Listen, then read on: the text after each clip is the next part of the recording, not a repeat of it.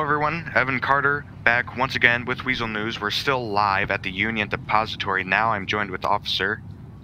Uh, Kyle Goods. North. All right. Uh, how are you two officers doing today?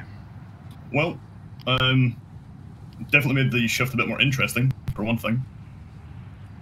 How about yourself? Okay. Yeah, I I am very intrigued right now myself. I've never witnessed the Union Depository get hit before. Uh, could you tell us a little more about what exactly happened here? So, upon arriving on scene, we had roughly between six and eight hostage takers and three hostages. Um, I made contact with the hostage takers slash suspects, whatever you want to call them. At this point, for uh, several demands, uh, I won't disclose all of it. However, um, they then got into three other vehicles as well. Three, sorry, three trucks and two motorbikes and fled the scene afterwards.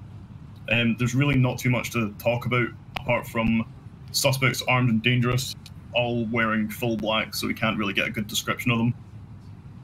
The uh, populace, any civilian that's seen them, to contact the Los Angeles Police Department regarding uh, their locations and um, to stay away from them. To be honest, these are uh, these are violent criminals.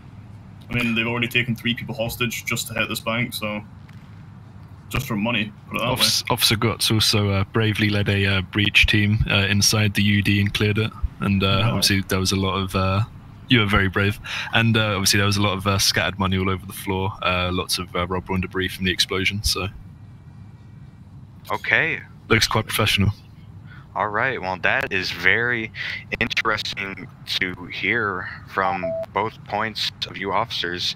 Have uh, either of you officers ever been in a situation like this before? The Union Depository being I've- hit? New experience for me, but What? you know, their demands, you find out and make sure that the hostages are okay.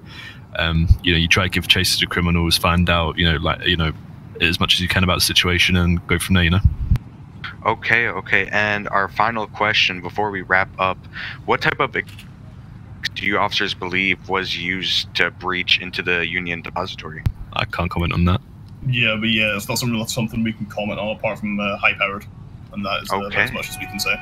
Very high powered. All right, well, you've heard it here first, folks, from both of the officers. Uh, we're going to wrap it up. This has been Evan Carter with Weazel News. I hope you all stay safe out there. Don't be like the people who robbed this place. You don't ever want to be a criminal. Drive safe.